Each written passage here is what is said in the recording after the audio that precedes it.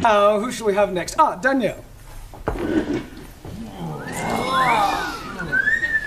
Quiet. You are the nicest banker I have seen. Yes, well, we're not in the bank now. I want you to imagine something different. Mm, I have very good imagination. Yes, I'm sure you have. Now, I want you to. Uh, you, you were going to the post office, and I am the assistant. Oh. Excuse me, can you help me? Certainly, madam. What is it you wish? How much it is a letter to post? Uh, is it to somewhere in England? No, it is a Swiss letter. A Swiss letter? Yes, I write to my boyfriend in Switzerland. Yeah, well, it's more correct to say that you want to send a letter to Switzerland, not a Swiss letter. It could be rather embarrassing if you were writing to someone in France. oh, it doesn't matter. I think I need some extra English lesson. Maybe I could stay here with you after class. No, I don't think we could do that.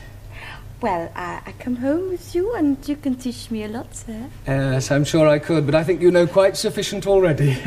now, is there anything else you want? Yes, but I cannot tell you here. From the post office?